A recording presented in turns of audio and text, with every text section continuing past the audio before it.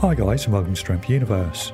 Before we get into the video I'd like to say thank you to Cheyenne for keeping me up to date with the goings on at the 7th World Raw Powerlifting Federation World Championships that were held last weekend from the 16th to the 19th of December.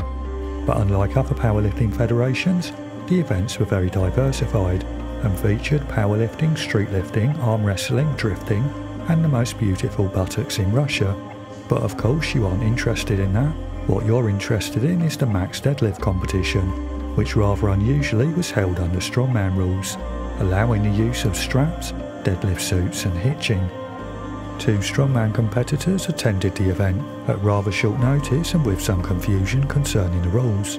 These were Ivan Makarov, who at the time had the third highest competition deadlift in history, at 475 kilograms, that he achieved at the 2021 Giants Live World Deadlift Championships, and his main rival was the two times World's Strongest Man qualifier and Iranian deadlift record holder Peiman Maheri We join the competition as Ivan Makarov grinds out 455 kilograms or 1,003 pounds.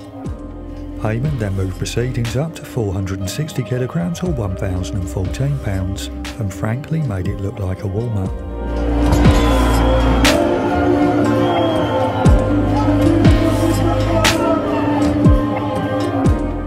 Then increased the weight to 477.5 kilograms or 1,053 pounds, which I expect had been driven by seeing Ivan struggle with the much lower weight, and thinking that he could take the win and the third highest deadlift in history.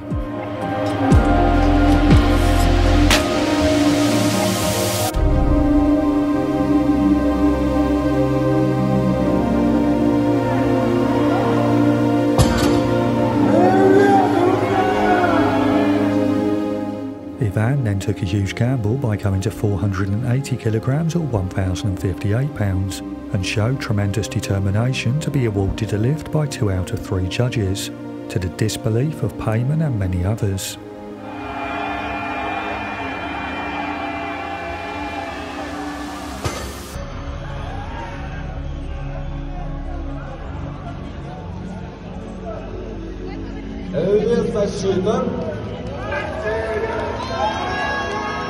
Peiman then found himself having to pull a lift that he didn't think he'd need, with 481 kilograms or 1,060 pounds, which he duly achieved to retake the top spot and the third highest competition deadlift in history.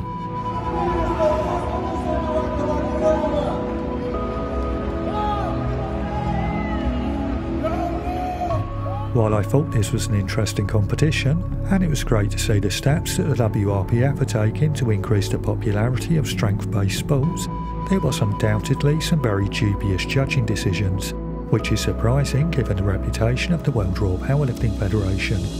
But I'd be interested to hear your opinions, so please leave a comment below letting me know what you thought of the competition and the judging. But in doing so, please remain respectful to the athletes. I've left credits and the athlete's social media links in the description below, so please check those out and give them a follow. And finally, if you enjoyed the video, please help support my channel by clicking like, sharing the video, and if you haven't done so already, subscribing. Thank you.